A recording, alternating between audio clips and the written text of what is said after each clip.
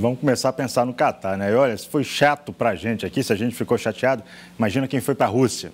A derrota para a seleção da Bélgica estragou a festa da brasileirada que agora sofre com a desclassificação do Brasil. Jogo da seleção brasileira, gente. Acho que o esquenta é o mesmo em qualquer lugar do mundo. Onde tem brazuca, tem que ter música para embalar a galera, legal? Esse bar virou o point verde e amarelo aqui em Moscou.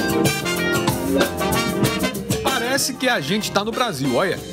Quer dizer, tem lá suas diferenças. Pausa no samba porque a bola já tá rolando. Com o passar do tempo, o esquenta foi esfriando, esfriando.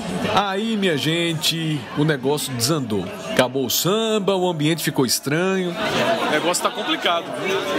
A coisa tá feia. Mas vamos lá, vamos lá. Vamos acreditar. Só que não. Não deu pra gente. Difícil curar o estresse pós-eliminação. Fim do sonho do Hexa na Rússia. A empolgação virou frustração. Tá na cara, né? Sobrou a sofrência.